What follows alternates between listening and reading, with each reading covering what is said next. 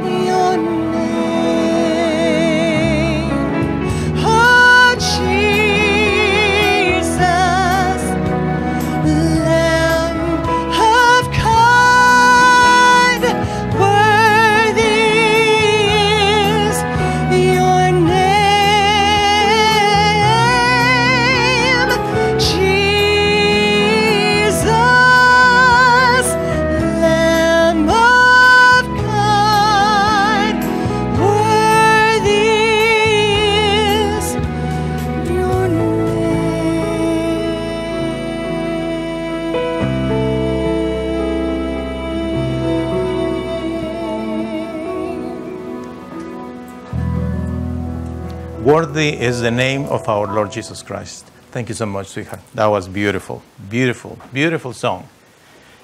You know that uh, when you think about life and all the, the stories that we can uh, tell of our own lives, the stories that we have heard from other people, you always come to one conclusion that the most important thing is our Lord. He is the one that is really important in life. We will remember always the great things that people have done for us. You will remember great things about your parents, your grandparents, uncles, and family, friends. Even you can remember stories when you went to, to, to elementary school, right? And some of us, high school and university and whatnot. And those are great memories, but deep down in our hearts, what we care is for our Lord. And that is the reason why we are here. We get together and we worship the Lord every Sunday as His Word declares, right? That we should rest one day. And that day of rest, we will worship Him because He deserves that. And that is what we do. Today, we are going to study a very interesting passage of the, the Bible. It's in the book of Jonah, and the, the title is reluctant Jonah, the servant of the Lord. And I will appreciate if somebody can give me a bulletin, please. I need to read some passages from the scripture that are there. Thank you, sir. Thank you, sir. Got one. Thank you, sir. Appreciate that. So, we read the first passage in the name of the Father, the Son, and the Holy Spirit. Jonah chapter 1, verses 1 through 2.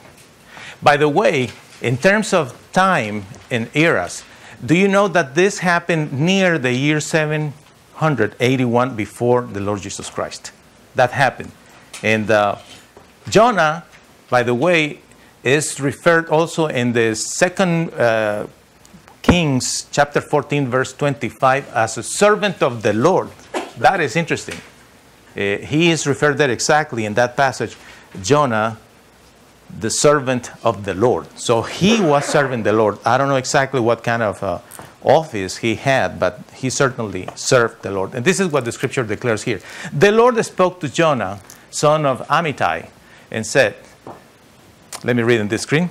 Nineveh is a big city and I have heard about the many evil things the people are doing there. So go there and tell them to stop doing such evil things. Wow.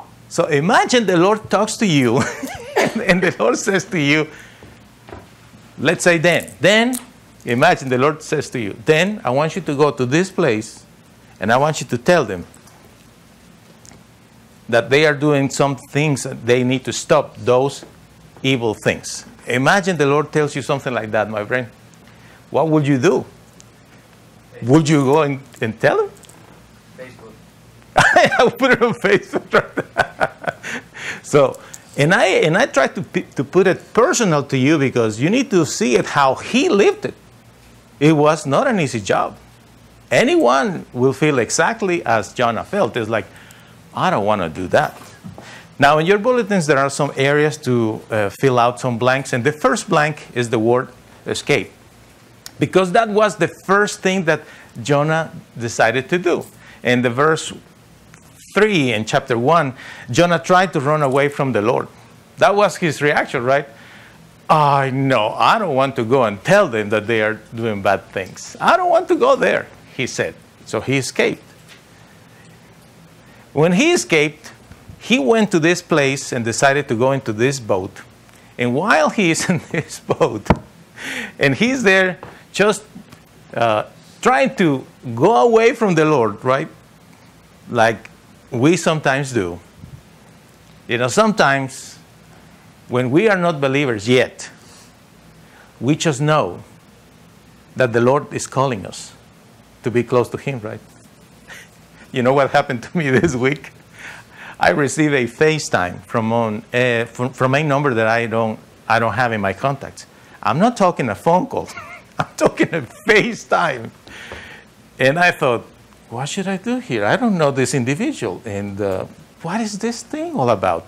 Well, I decided to answer, but being just cautious, I put the camera facing the ceiling. So the person will see only the ceiling where I was. But I was looking at the screen. So I could see the person who called me, but I didn't. She, he, he didn't see me. He was seeing the ceiling. You get it, right? So, and I look at this guy is an oil field guy. He's looking, he is trying to, to call me, and, then he hung up. And I thought, that's weird. Okay, well, anyway, I don't know this guy. One minute later, the same thing. the same guy FaceTiming me. And I'm, well, that's more interesting. So I decided to repeat the same procedure. So put the camera facing the ceiling, and I'm looking at him, and I know I don't know this guy. Well, he hung up again. So I decided to text back.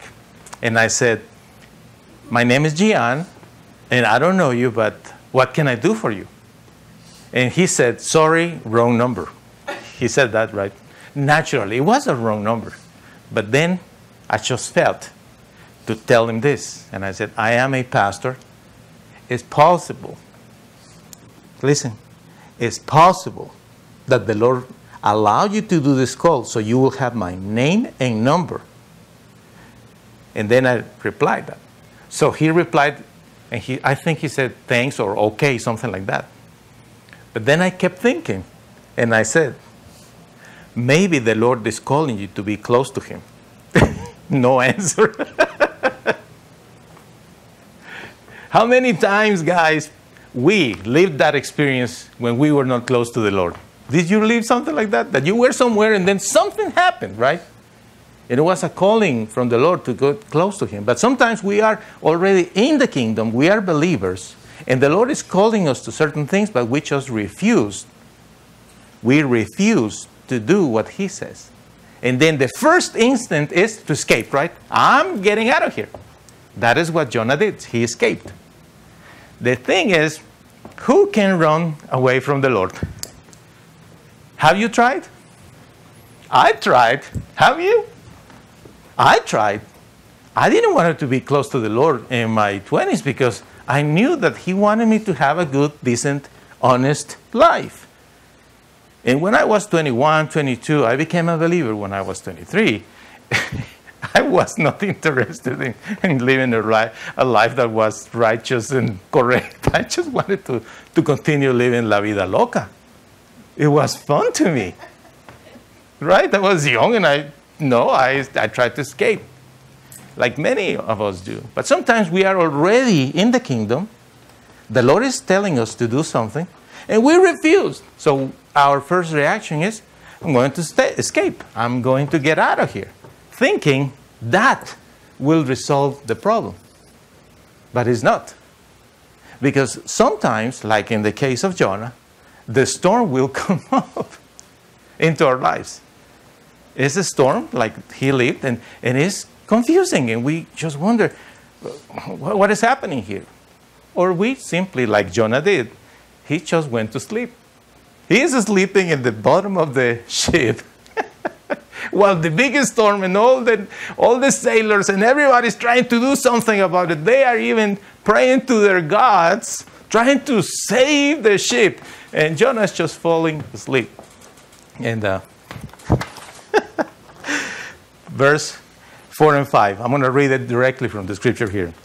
But the Lord brought a great storm on the sea. The wind made the sea very rough. The storm was very strong and the boat was ready to break apart. The men wanted to make the boat lighter to stop it from sinking, so they began throwing the cargo into the sea. The sailors were very afraid. Each man began praying to his God. Jonah had gone down into the boat to lay down, and he went to sleep. Right? When we are trying to escape and there are storms in our lives, and we just want to go to sleep. You know, so many, so many people in these days, when they are going through storms, the way that they escape and they go to sleep is by getting drunk or getting high, or they hide in different things. Sometimes it's not necessarily a bad thing. Some people escape and try to hide in sports or entertainment, and they say, There is nothing wrong with that. Of course, there's nothing wrong with that. The question is, is that what the Lord wants them to do? That's the question, right? Let's continue with this story. After the storm came the punishment to Jonah. And I'm going to read it directly in verses 14 to 17. the men prayed. Imagine that. The men prayed. Lord, please don't, don't say we are guilty of killing an innocent man. Please don't make us die for killing him. We know you are the Lord, and you will do whatever you want. So the men threw Jonah into the sea. At that point, you know, guys, Jonah already revealed to them that he was a servant of the Lord. So when the men threw Jonah into the sea, the storm stopped and the sea became calm. When the men saw this, they began to fear and respect the Lord. They offered a sacrifice and made special promises to the Lord. When Jonah fell into the sea, the Lord chose, chose a big fish to swallow Jonah. He was in the fish's stomach for three days and three nights. Punishment. You know, a, a lot of people don't like that word, right? A lot of people just kind of actually would like to erase that word from the dictionary. Let's talk about what happens in homes, right? Kids are misbehaving, they don't respect the house. And then, will you remove the word punishment in that context? Or let's say they destroy something that is so precious to you, sentimentally speaking or materially speaking. You told them, you, you said the warnings three times. You said, if you break this thing, I'll be really mad. You will be in trouble. You say those things, right? But imagine they disobey. They refuse to do what they were told to do. What is the option? it has to come. The punishment, discipline, whatever word you want to use, you will use it. The Lord God Almighty is not unreasonable. I want you to understand that. He is very reasonable. He will reason with you. Isaiah says that. You know that by experience. How many times we had fights with the Lord and we argue with Him? He is reasonable. But when it's the time to make things right, He will make things right.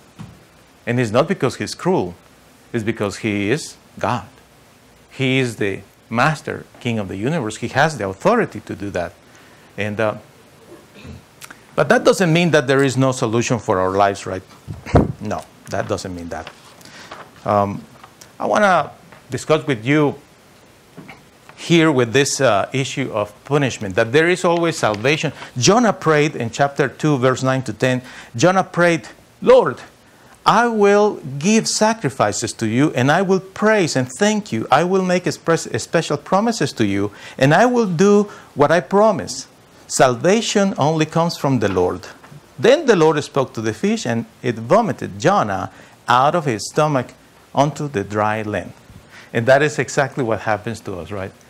I lived that experience not once, not two times, not five times, several number of times in my life. I wasn't willing to do what the Lord said to me, and, and I escaped for a while. And then uh, I lived the storms, and then I lived the punishments, and, and eventually I got it. And I thought, well, you know what? He, he's right. He is right. There, there is, it, it is correct for the Lord to do this to me. And, uh, and then it's when we pray. And when we pray, we say, Lord, I need you to save me. I need you to forgive me, help me out here. And that is what happened to Jonah, right? Okay. When, when that happened, Jonah was out of the fish at that point, correct? So now he is out again in the shore, in the land, and he decides, okay, what I have to do now is do what the Lord told me to do in the first place, right? don't, don't you think it's funny, this story? I just think it's very, very funny because to me it's like my story and like the story of many of my friends. You know, I have so many friends that are pastors. I have a network of pastors that we contact every week. We pray for each other every week. And we report what's the status in our congregations.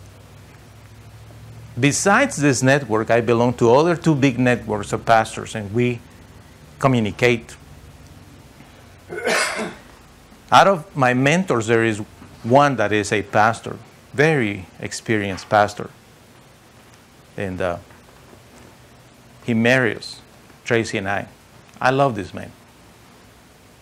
So many times we have discussed this issue about what happens with us when we rebel and we don't want to do what the Lord is telling us. And, and, we, we laugh because we know what happens. You know, after the process, eventually we end doing what He told us in the first place. But it was a long trip, right? To come back to the same point, you know, like Jonah, right? Jonah, this is what I want you to do. I want you to go to Nineveh and tell them that what they are doing is wrong, that I want them to change. Is that what the Lord said? This is what the Lord said. I want you to go and tell them that. No, I don't want to go. The escape, the storm, the punishment, praying. And then finally he comes back to do what he needed to do. So here we go. Jonah is praying. I mean, preaching. Jonah is telling the people to, to change. And then, as, as when they did that, chapter 3, verses 8 through 10. People must cry out loudly to God. These are the words of the king of that place. Uh, Imagine like the president today. He said to the people, guys, we got to do this right. And so he was listening to what some people heard from Jonah because Jonah was in the streets, supposedly in three days walking throughout this, this, the city. He will finish preaching to the whole city, repent and change. so people are listening and they are conveying the message to the king, and the king says, "That is that true? Is that right? Somebody's preaching that we need to change. Maybe we should change." So the king says, "People must cry out, cry loudly to God. Everyone must change their life and stop doing bad things." Who knows? Maybe God will stop being angry and change his mind, and we will not be punished. God saw that the, what the people did. He saw that they stopped doing evil. So God changed his mind and did not do what he planned. He did not punish the people. Don't you love that? I mean, that, that is the Lord's heart, right? The Lord's heart is in forgiving. The Lord's heart is in just embracing people. The Lord's heart is in don't don't don't make an issue out of this thing. We we can manage. We can manage, and that is what the Lord does. All right, I want to share with you some scriptures here that have to do with what is the right way to manage grace, what is the right way to manage discipline in all contexts. In all contexts. Let's start with uh, Hebrews chapter 9 28.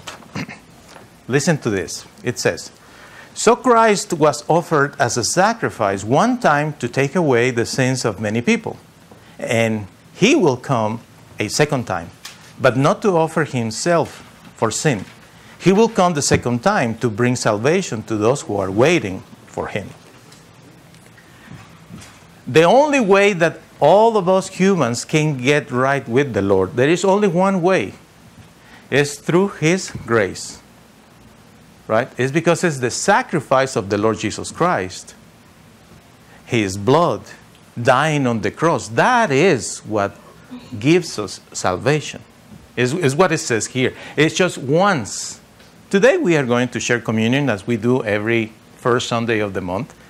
And we will proclaim one more time about the precious blood of our Lord Jesus Christ and his body being destroyed for our own sake.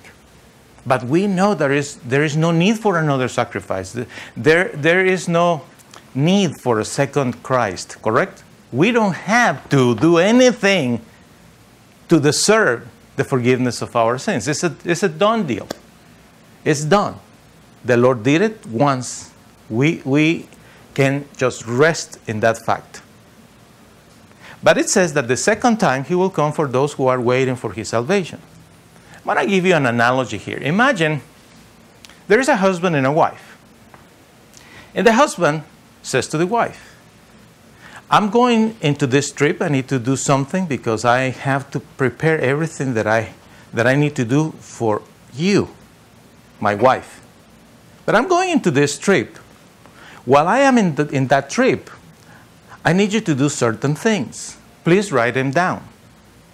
These are the things that I want you to do. And let's say he asked for five things to do, right? Whatever those things are. So she says, okay. And he goes into that trip. He goes there to work because he has something amazing for his wife. So from time to time, they communicate. And he says, How is everything going? And she says, Everything looks good. And then he asks, Are you doing the five things that I asked you to do? She says, Kinda. Kinda. Kinda sorta. I'm getting there. All right. I understand. You have things to do, but please remember because those are very important things. Now, in the meantime, I will continue working, preparing here what I have for you. It's amazing. She says, okay. So he communicates with her again the next day, let's say. And uh, says, How are you doing, darling? How is everything going? She says, It's all good. Oh, cool. I would like to ask you, can you send me a picture of one of those five things? I would like to see it. How is it going? My phone is not working today, honey. The camera is not, I don't know what's the problem. Um, okay.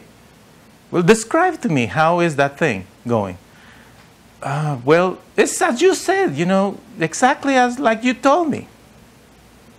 Okay. Okay, well, well, thank you. I will continue going to my projects because what I'm doing for you, uh, you will be amazed. It is that great. Really, really. You know I love you. You know you are my wife. But I have to continue working on these things because what I am preparing here for you, it's amazing. It requires my attention. But I'm trusting that in the meantime, you will do the five things that you agree that I ask you to do, right? Sure. Maybe tomorrow you can call me and send me a picture or something. Sure. The next day, he's waiting and she doesn't call. She doesn't text. She doesn't communicate the whole day. The husband was working, preparing those amazing things for her, but she doesn't communicate with her, and he's wondering what's going on. So he's there in, in his projects. At the end of the night, he decides, well, I'm going to reach out. He texts her, Hello? And she replies, I'm too tired. Can we talk tomorrow? Sure. And that's the story. That husband is the Lord Jesus Christ. That wife is the church. Things that people have never thought of dream of are those who he has prepared in eternity for his church. But he assigned us certain things. He said, I want you to do certain things. The sad part is the church, us. Sometimes we don't even communicate with him. We are short.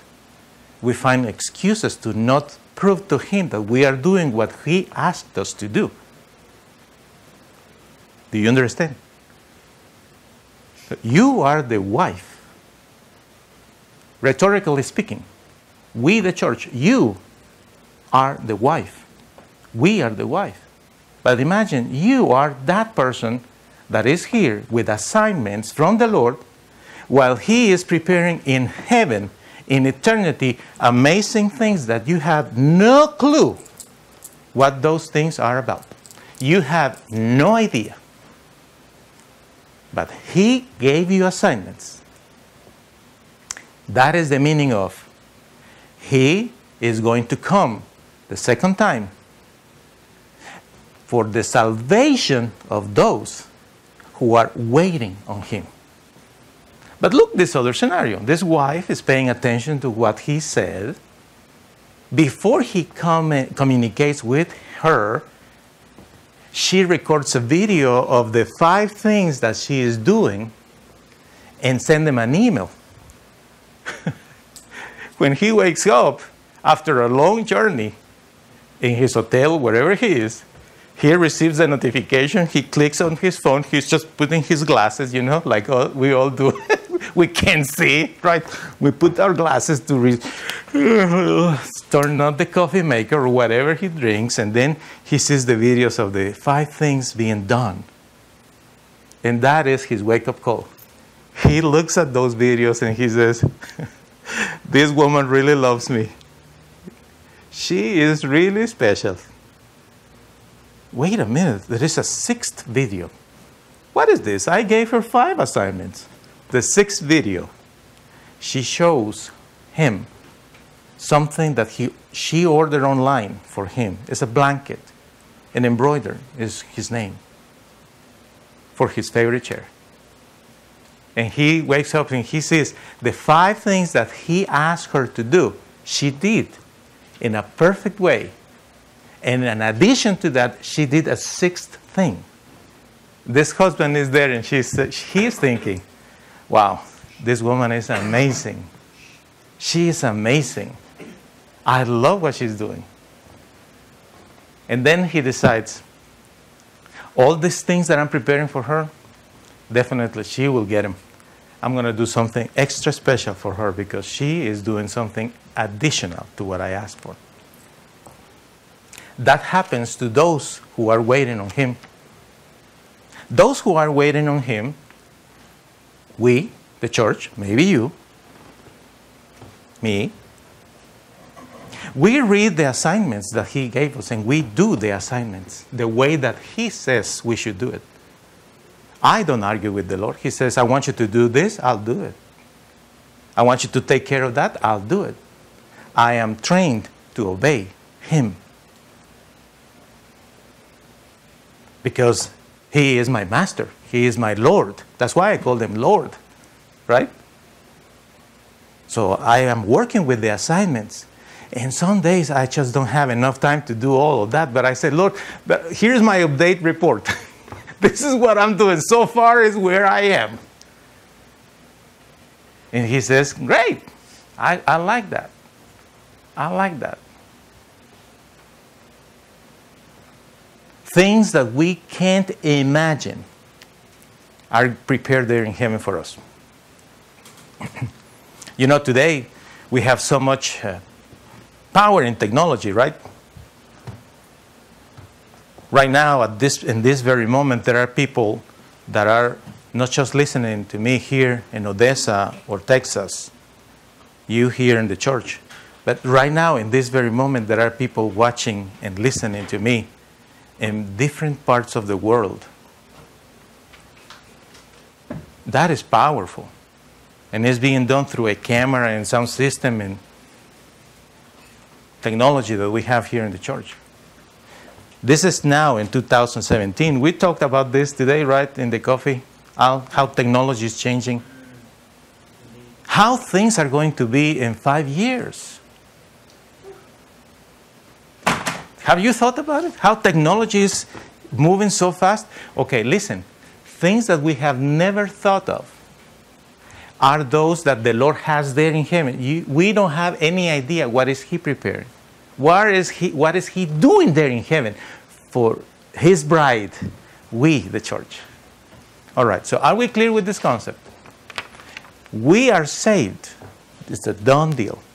The question is are you doing what he asked us to do? Are you doing those things that he is telling you, please do this, take care of these things? That, that is the question, the real question. Right, but let's go back to other scriptures that will give you a better understanding of this. Psalm 51, you know, many of you know the story of David. He messed up big time, like most of us. right? So this psalm tells in different ways how he felt about that experience. But let's read in the right order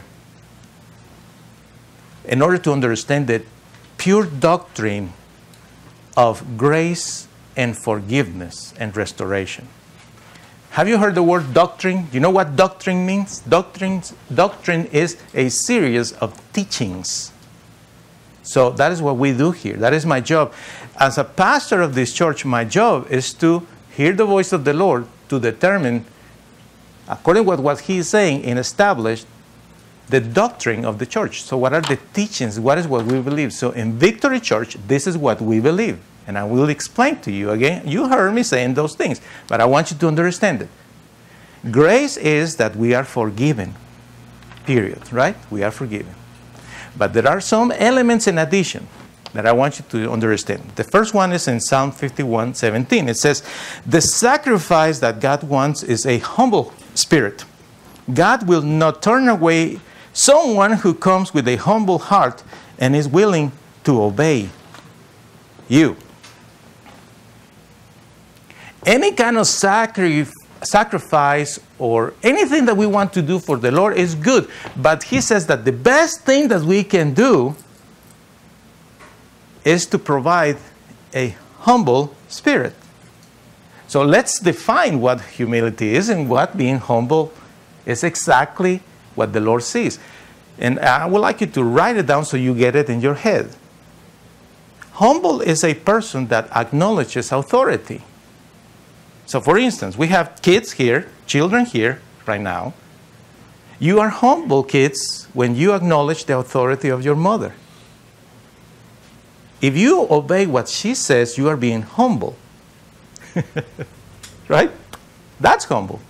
Some people think humble is the one who drives the most beat up car, the one who dresses the worst, the one who has not a great stuff because that is too prideful. No, that's not right. That is not correct. You know, everyone will drive the car or wear the clothes or whatever things he possesses according with his possibilities. That has nothing to do with the heart. you know, I love being with humble people, but that doesn't mean that I'm going to be all beat up, you know, not, not presenting myself appropriately. Because praise the Lord, I have the means to, to buy good things. right? That doesn't make me prideful. It's just that I like good stuff. You understand? Humble is the person that in his heart acknowledges authority. In a company, there are different employees. The humble employee is the one who acknowledges the authority of the, the authority of the supervisor.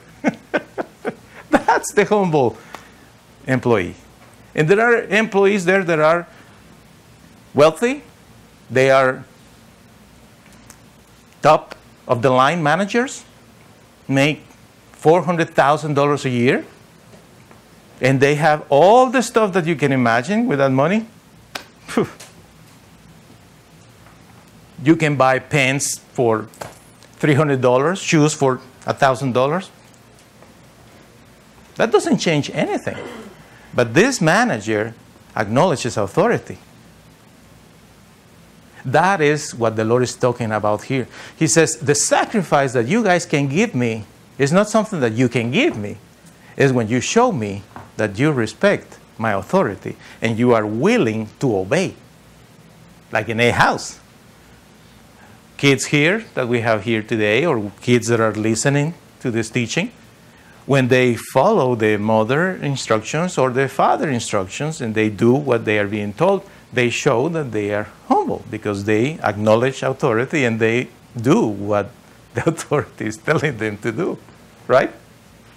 And naturally, it's going to be good for them. If, we, if you follow with me the reading, Psalm 51 12 to 13, it says, you helped me. You helped, made me so happy. Why, why, why David said that? Well, because he, he received the forgiveness, right? You made me happy again. Give me that joy again. Make my spirit, spirit strong and ready to obey you. You see that? Ready to obey you.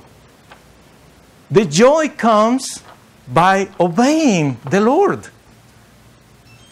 And then it says, I will teach you, I will teach the guilty how you want them to live, and the sinners will come back to you.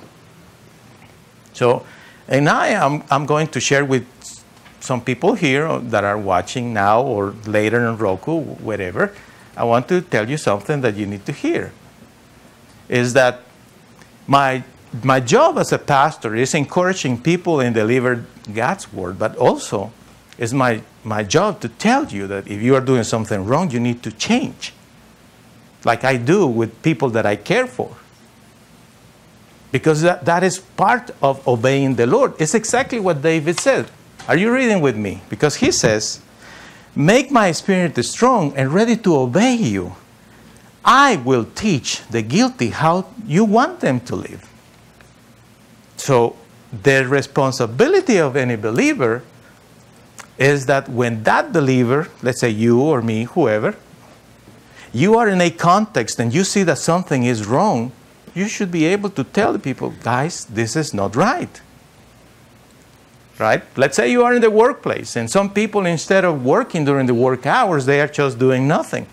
It's your job to tell them, guys, we are being paid to work. Right?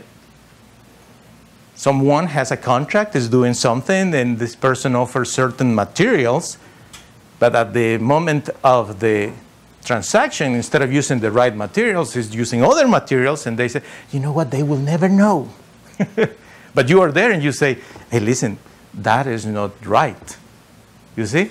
The one who is right with the Lord is forgiven, right? We know that. This is, this is not an issue of grace. You are forgiven. But now he's asking you to obey him. And part of the obedience is that you will be able to tell the guilty what they are doing is wrong.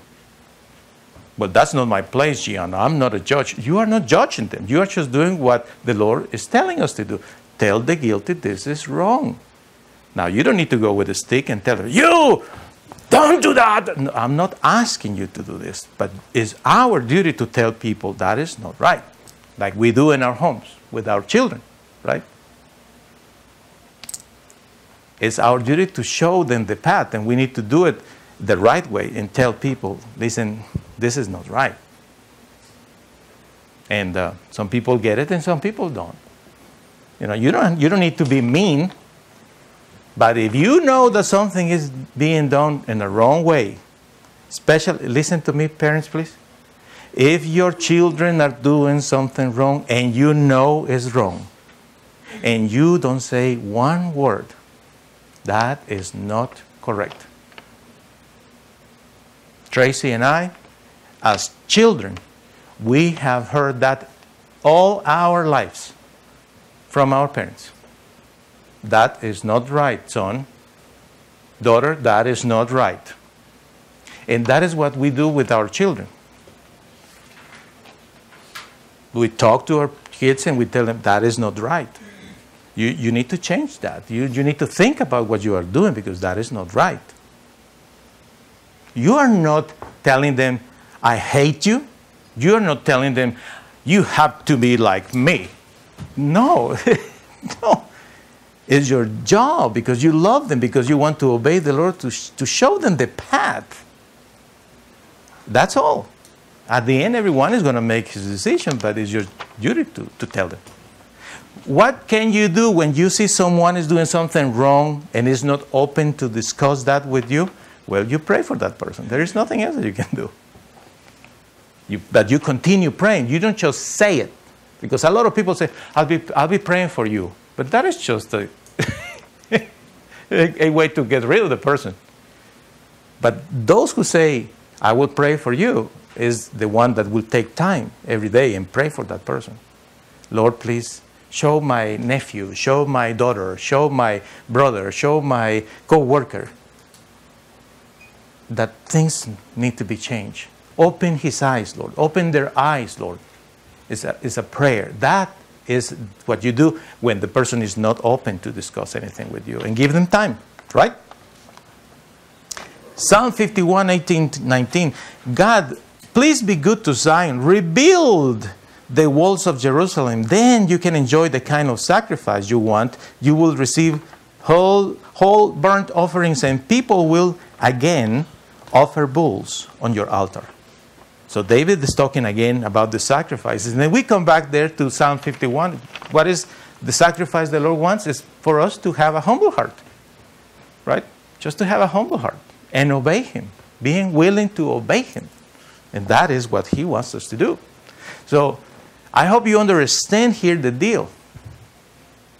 Correcting you if, if let's say I'm talking to Ronnie, let's say an example. I'm talking with Ronnie, and then I say, Ronnie, uh, I think that this is not right. You need to think about it.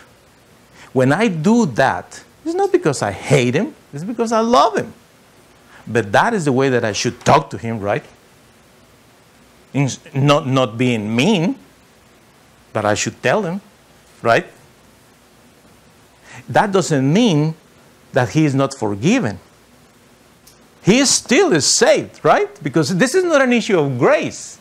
It's an issue of understanding how things should be done. So there has to be a balance. When you think about grace, grace has a balance. Is I am forgiven, but I am responsible. I am loved and forgiven, but He is expecting me to do certain things. And that is the question. The question is not if you are forgiven or not. We are forgiven. The question here is are you doing what you are being told? And what the Lord is telling Tracy to do is not what he's, the Lord is telling me to do or what He is telling Rory to do. because Rory's challenges are different than my challenges, they are different than Tracy's challenges. So, but he is always telling us something to do. He is expecting always something from us. He is the Lord God Almighty. I mean, he's not a pal. You understand that? Don't get confused that your closeness with the Lord puts you in the same level. He is the authority. You get that? Don't get confused with that. No. I'm forgiven, so whatever. No, no, no, no. No, that's not true. The truth is, He is God, the Lord God Almighty. We are His servants. He loves us and He wants to be close with us, yes, but it's all about a humble heart. What is the definition of being humble? The one who acknowledges authority and obey. You see? All right. Jonah did his job finally, right? He got it. He went and preached, and the, the people in Nineveh went into a campaign. They were fasting. For those who do not know what to fast is, it's just you abstain to eat. They didn't eat, they didn't drink certain things for a certain period of time. They were just begging the Lord, Lord, please do not punish us. right? Some people need to fast in order to be restored. You know that fasting is good because when you are fasting, you are telling your flesh, you are not in control. the Lord is my master, not, not you. You know. Do you remember that movie uh, when this guy is uh, uh, reducing a microscopic uh, spaceship uh, Martin Short and Dennis Quaid in that movie, and he's in this body, you know, and he's so mad at the guy and said, "Where are you? Where are you?" you remember? You know, it's like a, a fight like that. Inner space, yeah. Where are you? He says, zero defects. It's, it's a funny movie. Anyway, sometimes we need to fight with our flesh that way. Say, you know what? I'm not going to give you what you want. And they did that in that, in that city, Nineveh. The Lord forgave them, right? And here is Jonah. Jonah was so upset then, the servant of the Lord, right? No, I do everything for the Lord. No. There are people that do everything from themselves, and, and those individuals need to understand that it's not about you. Jonah was so mad because the Lord forgave him. What is this all about? What's wrong with you, Jonah? you are now mad because the Lord forgave him? And the Lord argued with Jonah and he said, You really are mad at me? You really are mad? And Jonah is pouting. And that is classic in a very immature person. You correct your kids. You know, when I am with young people, and I correct them and I observe how they react. If these kids, they looked at me and they said, sorry, and they change, I see that there is a real sorry. But there are others, have you noticed? And you said to the kids, you don't do that, and they look at you. And then the parents say, you go and apologize. Sorry you know, and they don't talk to you again, and you can notice because their mouths are extremely long now, right? The way that they look at you, and it's the whole process of pouting, right? But here is Jonah, like any other little kid. You know, adults pouting is this is just another little kid. Now I'm going to do that and this because you change this, you change that. It's just it's another childish reaction. But what did, what did the Lord do about this? You know what? The Lord gave him another chance. He said, okay. Jonah left again, escaping. Right. Do you remember? Escape, run away, hide. I don't want to talk to you. The same thing. Did it again. So he is now somewhere. The Lord allowed a plant to grow, and the plant is giving him shade. So he's kind of okay there under the plant. now the Lord killed the plant. There is no more plant. And Jonah is so angry. And he failed again. The servant of the Lord, the one who says, I'm doing things for the Lord, pouting again. The same thing again and again. Remember this. How many times will you live the same experience? How many times you will live the same experience? You will live it until you learn it. Some people are broke, get the money, get the job, broke, get the job, get the money, broke. And some people are ill and they are healed and they are doing the wrong thing. They are ill again and they are healed and they are getting better. They are healed again. Some people messed up one marriage, two marriages, three marriages, four, seventh marriage. Some people lose a job, get a new job, lose the job, get a new job. Do you understand? Wrecking cars. Some people messed up in one church and then goes to the next church and then goes to the next church. Uh, you see? Do you understand? You will live the same experience again and again and again and again until you get it. You have to change. You have to understand. But of course, it's not easy. If you ask me, Gian, did you get the lessons quickly? And I will say to you honestly, no, my friend, I did not. Now it's different. But when I was young, I, I had a lot of trouble because I had problems to understand things, right? But the love of my mentors and my pastors helped me. Teachings like this, when my eyes are open and I'm like, well, maybe he's right. Well, that's good. You use the word maybe. right? Maybe. That's why I always suggest to people what if you revisit my messages? You, as a member of the church, if you are concerned about certain things, revisit the message. Try to understand what I am saying. Because that will give you more clarity and understanding. You see that? Well, here is Jonah again. The plant dies. He is without any cover. Now he's there. And the Lord says, Are you mad because um, the plant is dead? Of course I am. Listen, who is Jonah? Jonah is just a human being. And who is the Lord? Is the Lord God Almighty. And he comes so patiently and tolerant to talk to him. Are you still? Don't you think it's funny? Honestly, tell me, don't you think it's hilarious? The good Lord coming all the way down from His majesty and power to talk to somebody that is pouting. And he's pouting because again he's not obeying, and again he's not doing it the right way. And yet he is there, so patient. So why are you mad, Jonah? Because I killed the plant? Yes, that's it. Now you understand. and the Lord says, Well, let me ask you something.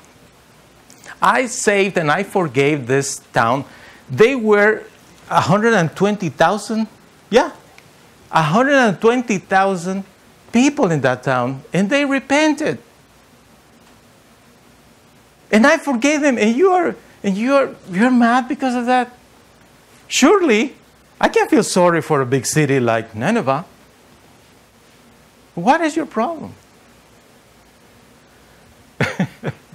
but here's the kicker grace is the result of the preaching of repentance.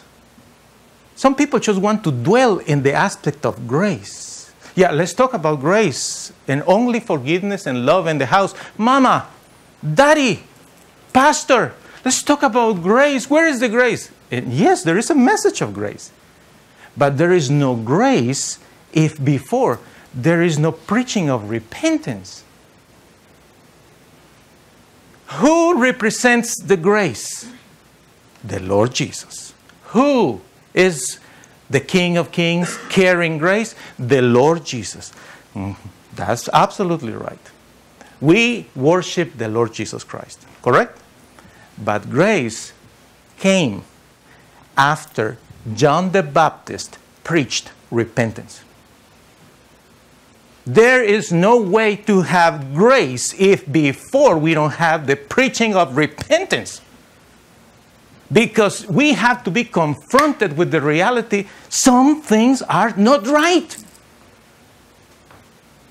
Do you think a kid is going to change the way that he is handling money or driving the vehicle or using stuff in the refrigerator just because illumination comes into his brain?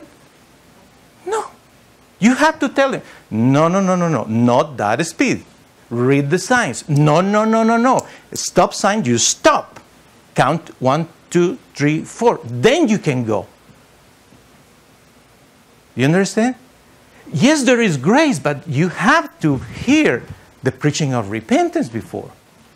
And it's a cycle, not that you are going to be forgiven and forgiven. You are saved. Don't misunderstand me. But it's a cycle, just as in a different aspect of your life. One day you are in this aspect, the next day is you are in this other aspect, the next day in another aspect, and the next day in another aspect. You see that? There are dimensions. But you have to hear the preaching of repentance. You, and there is nothing wrong with that. Praise the Lord for that preaching because when we are confronted, we say, you know what, this is not right. I have to think about it and change. Isn't it? That's why it's so beautiful. The gospel is perfect. But the gospel is not just Matthew, Mark, Luke, and the rest of the books in the New Testament. The gospel of the Lord Jesus includes the whole Bible that has all these stories to show us how the Lord God Almighty sees us, sees life. And He loves us. There is no question about it. We know He loves us and He forgives us, right? We know that. You know, grace is being given, but grace is being administered to us as a result of the preaching of repentance, right? We get that right. So we understand that. Okay, now, once we are in His grace, we should show actions of gratitude. So the kid wrecks the car, right? Or the wife messed up the credit card. Or the employee destroyed the valuable equipment. Okay. You have to talk about the issue, right? Because if you don't talk about the issue with your kid, with your wife, with your employee, if you don't talk about the issue, they will never think about it. You have to talk about it.